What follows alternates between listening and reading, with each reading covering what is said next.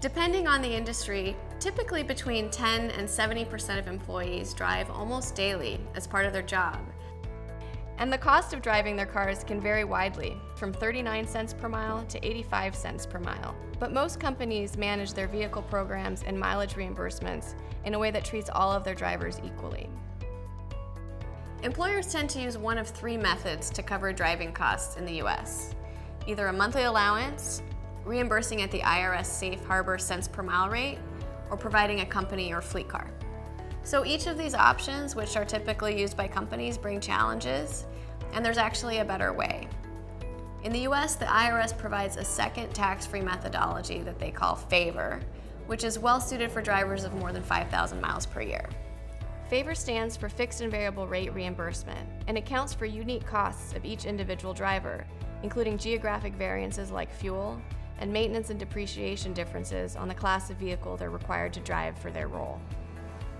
Let's look at a typical example of each methodology. For example, a home health care nurse, I'll call her Joan.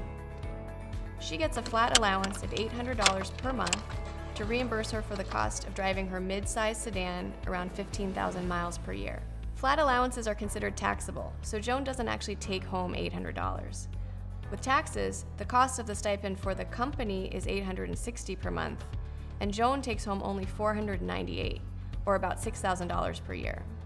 The real cost to Joan of operating her car is closer to $9,000 per year, leaving her out of pocket by over 2,500.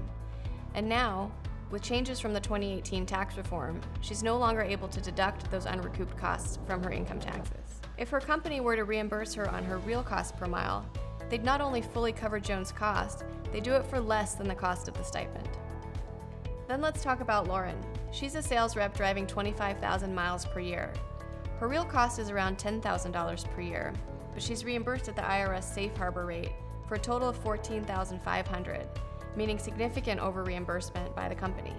Finally, we have Taylor, who manages a set of regional retail stores and drives around 7,000 miles per year in the small SUV provided as part of the company's fleet program.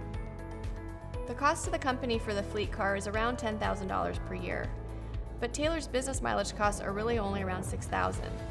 The company's paying over $4,000 more per year than they need to, taking on additional risk and tying up capital in owning company vehicles. And now, FAVR support is available fully integrated with Concur and includes GPS mileage tracking and automatically calculated individualized rates. So you can reimburse your employees as fairly and cost effectively as possible.